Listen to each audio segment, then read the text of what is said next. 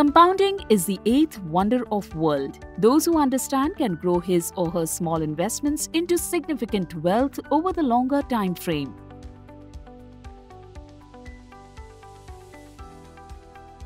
Compounding is function of return generated and time spent in the equity market. One can multiply the initial corpus by identifying companies which can deliver relatively better return. Example 15% plus and stay remain invested for longer period of time that is 10, 20, 30 years.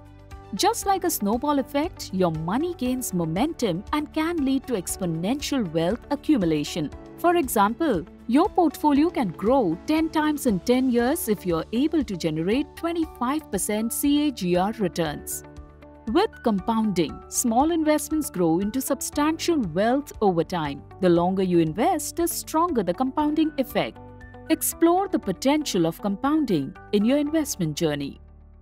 Investment in securities market are subject to market risks. Read all the related documents carefully before investing.